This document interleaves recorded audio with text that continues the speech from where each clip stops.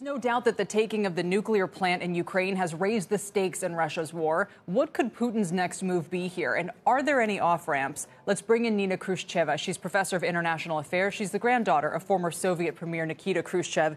Nina, it's great to see you again. I just want to start with your uh, main point here, which to me at least is that you see this as so far enhancing Putin's popularity at home. In some, yes, thank you, Kelly. In in some quarters, among some people, it, it really does it enhance because you know when the war is being fought, but it's not called a war at all. It's called the special operation. So the Russians are technically not knowing that the city is being bombed, and uh, whatever is happening on the ground is presented as the um, uh, Ukrainian insurgents uh, who want to oppress and abuse the Ukrainian people.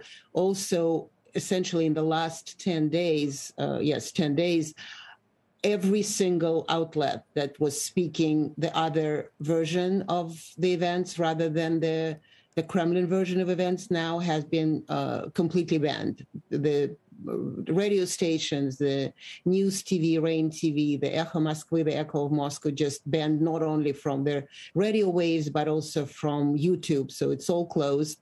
Uh, I think now the Facebook is next, or maybe it already is, uh, uh, has happened. So no information is supposed to trickle down uh, for the Russian people to hmm. be told what really is going on. So they now feel, and with all the force of the sanctions, many feel that they just have to rally around the flag. You just mentioned it. We're going to get that breaking news right now, actually. Nina, stay right there. Let's bring in Julia Boorstin. She has the latest on Facebook's operations in Russia. Julia? That is absolutely right. Russia has blocked Facebook in the country. Russia's media regulator saying that they have seen 26 cases of discrimination against Russian media and information resources, um, and that in recent days the social network has restricted access to accounts from RIA Novosti, news agency Sputnik, Russia Today, and others, saying these restrictions are prohibited by federal law um, on measures to influence persons involved in violations of fundamental human rights and freedoms. So that this is what the Russian regulator is saying. We have reached out to Facebook's parent company, Meta, for comment on this.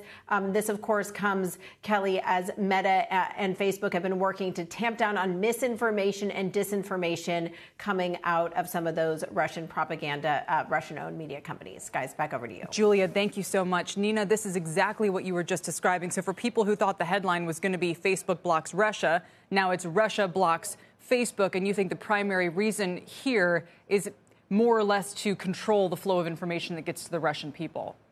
Absolutely. It is an absolute control of the information. Maybe uh, it seems to me that even on your program a few days ago, I did say that the Russians like to reciprocate. So if they're sanctioned, they're going to sanction back or whatever they're going to forbid back.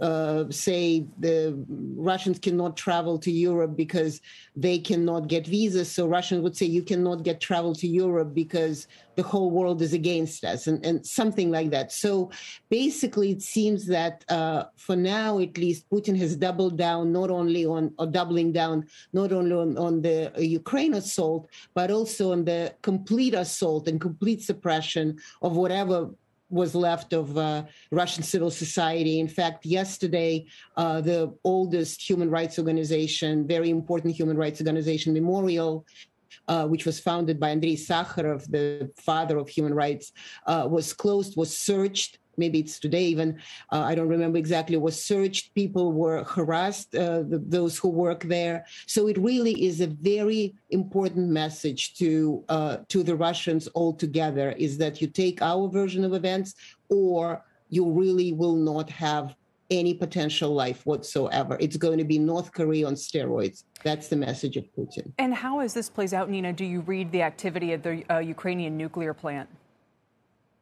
Well, it, also very interesting because in the Russian version of events, it, it's actually uh, the Ukrainian saboteurs who did this and then blame it for the world for the Russians to be guilty of. So basically, it, it's it's almost like Alice whatever Russia through the looking glass. So you enter this alternate reality, and then that reality is presented as if it is a real one. And it does seem that most of it reality is playing out in Vladimir Putin's head because uh, yesterday he spoke and was very firm and uh, very mm, kind of uh, very forceful at saying that everything is going according to plan and we are eliminating the Nazi elements in, in Ukraine and we are not going to stop until the very end. In fact, he spoke to Olaf Scholz, the Chancellor of Germany, and reiterated uh, the same thing without even showing that he's willing to um, uh, to back off. And it does seem that this whole play with the potential nuclear preparedness is that is that do you really want to test me how far I can go?